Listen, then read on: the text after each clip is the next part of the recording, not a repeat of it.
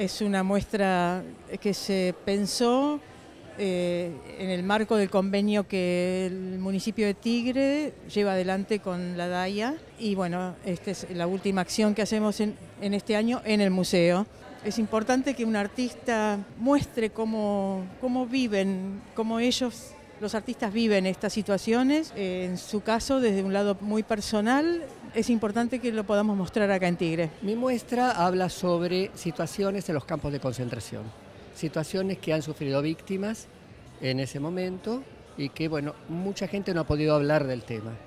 Eh, fueron muchos años de silencio. Lo que me fascina es que la obra de Adrián hoy intervenga sobre la memoria desde el arte.